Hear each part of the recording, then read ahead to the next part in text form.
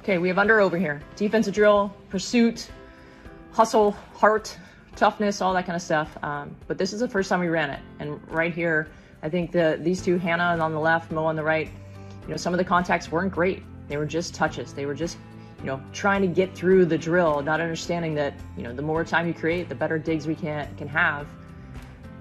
The more it counts. You know, Mo does a great job here. The the second time we've gone through it in the fall, um, you know, she takes care of the ball, gets that ball high. Cece gets that ball high back to the court. Mo does a good job of hustling. Here's Kylie digging right in front of you, and Emily Londot going the dig right there. Um, you know, they they did a good job of this. They're hustling through. They're on to the next ball, and they're making efforts to get that ball high. You know, sometimes they don't get it, but they need both of these touches for it to count. So they need the run through and then the pursuit ball.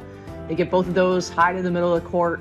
You know, how you set your standards for this, who's counting is a big deal. If you just allow people to go through it, they'll just make low contacts, low digs. And, and if you're holding the standard high and, and having a team that holds that standard high, it's better because then that, that those contacts matter every time we're, we're touching the ball. Those people out of the drill also have to control some of the chaos here and, and get the balls out of the way. Sometimes we're, we're better at it than others, but you know that's part of it too. How do we communicate throughout this drill?